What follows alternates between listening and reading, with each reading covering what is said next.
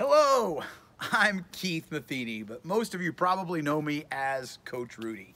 And I'm so excited about SEL Day tomorrow, and I hope that you will join me and a bunch of my friends as we are going to totally put SEL on blast about why SEL matters to us.